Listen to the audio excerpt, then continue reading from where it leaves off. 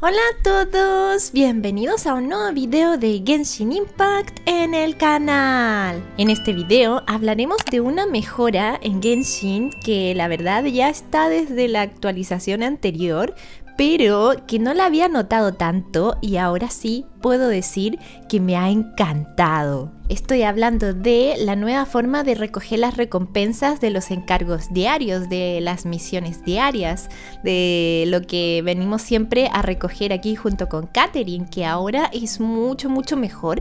Y la verdad es que si bien ya lo había utilizado antes en la versión anterior y también en esta, eh, error, ¿por qué Katherine dice error?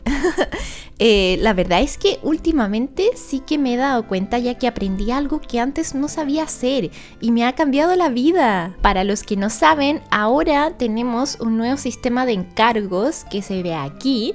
¿Qué es esto de acá? Recompensas de puntos de pericia por cada fase. ¿Cómo funciona esto para los que no hayan jugado recientemente? La mejora es que ahora no es necesario hacer estas misiones diarias de acá, las misiones de encargo, sino que podemos simplemente eh, explorar el mapa, abrir cofres o resolver acertijos o algún dominio, todo ese tipo de cosas y también por ejemplo misiones, completar misiones ya sea de mundo, legendaria, de arconte o también eh, incluso los encuentros creo y también las misiones legendarias, etcétera. Todo eso nos da puntos de pericia. Y bueno, eso ya todos lo sabían, yo creo, Yo también lo sabía, pero el otro día vi por internet a una persona que compartía cómo eh, tan solo con 5 segundos entraba un día, entraba a Genshin, abría el evento de turno, recogía las recompensas y listo. Ya tenía los encargos listos, así que iba directamente con Katherine y, se iba y salía del juego y yo quedé como, oh wow, también se puede hacer eso. Así es, como por ejemplo ahora tenemos este evento activo, las fantásticas aventuras de Telshi. Y bueno, eh, paréntesis, no sé si han terminado este evento, pero muy muy bonito, muy linda la historia o no. Aquí hay un spoiler. No, lo voy a lo voy a tapar para los que antes no estaba esto, ¿verdad? Cambió el banner. No me había dado cuenta. Bueno, lo voy a lo voy a tapar para que no lo vean si es que no han hecho el evento, pero cuéntenme en los comentarios si es que les pareció bonito y sobre todo, muy importante, si es que la historia del evento les sacó una lagrimita porque la verdad es que a mí sí. bueno, aquí tenemos esta zona de detalles del evento y como pueden ver ya tengo, em, la verdad es que ya hice todos los desafíos, todos, todos, todos. Ya tengo todo, todo esto de acá listo. Eh, creo que hasta aquí, sí.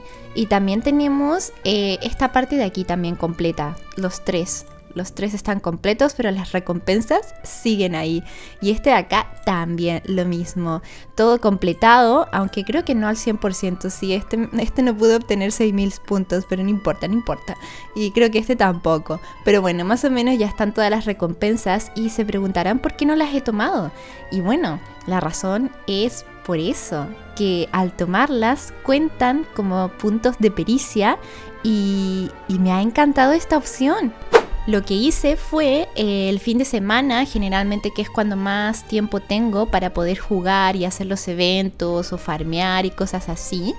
Eh, lo que hice fue hacer muchos de estos desafíos del evento durante el fin de semana. Y dentro de la semana, cuando no tengo mucho tiempo y solamente puedo iniciar de forma rápida, eh, lo que hago es recoger las recompensas. Y me cuentan como misiones diarias. Y de verdad que ha sido un cambio total en mi vida.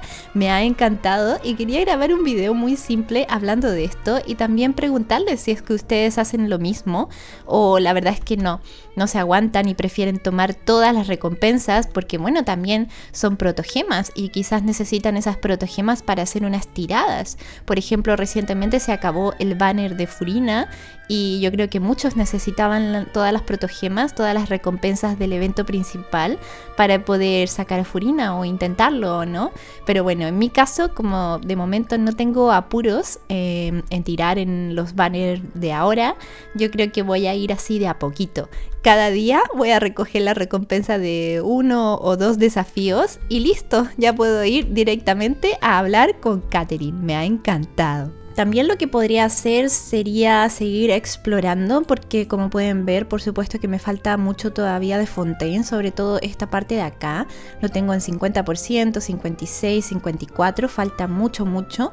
Pero la verdad es que cuando voy y recorro un poco esta zona, em, no sé dónde están esos cofres o esos desafíos pero la verdad no es como que camine y me encuentre con uno. Así que si no tengo mucho tiempo, mm, prefiero no hacerlo. Prefiero ahora de momento aprovechar el evento y cuando ya el evento se haya acabado y ya haya recogido todas las recompensas, yo creo que sí, tendré que volver a la exploración. Porque la verdad es que no quiero hacer más los encargos diarios. Es que, es que de verdad me aburre muchísimo. Los tengo ahora en Sumeru y son cosas que... Ay, que ya de tantas veces hacerlo, mm, yo creo que de verdad aburre mucho, ¿verdad? Menos mal que tenemos ahora esta nueva opción. Yo creo que fue eh, un, cambio muy muy bueno para Genshin, para eh, nuestra jugabilidad diaria. Y bueno, la verdad es que esto es como de suprimiendo el mal o el trampolín fúngico.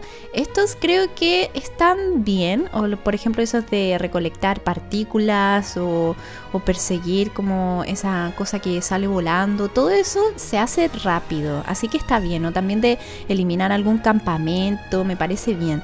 Pero a veces hay algunas misiones que son tantos diálogos que se repiten y lo repites una y otra vez. Me acuerdo que en Inazuma había una misión diaria que creo que era algo de en una editorial de un autor que escribía una novela o algo así, necesitaba como ayuda.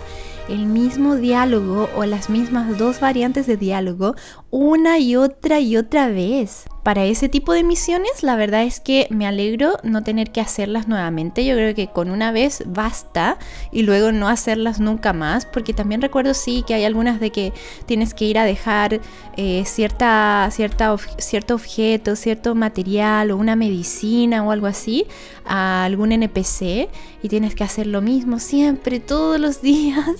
Es muy, muy aburrido, así que de verdad me alegra muchísimo que tengamos este nuevo cambio. Y bueno, aquí con los perritos de Fontaine me despido. Cuéntenme en los comentarios qué les ha parecido esta versión 4.2 y también qué otros cambios les gustaría ver a futuro en Genshin Impact. Algo así, por ejemplo, algo tan simple pero que la verdad ayuda muchísimo a la experiencia de juego. Nos vemos en el siguiente video. Adiós.